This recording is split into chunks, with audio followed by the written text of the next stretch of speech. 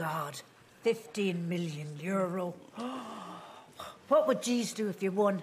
Buy an ang Angabini.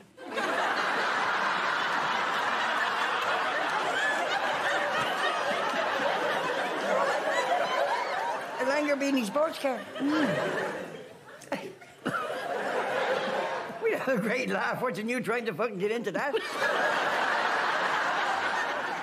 and you better buy a tin opener so we can get you out.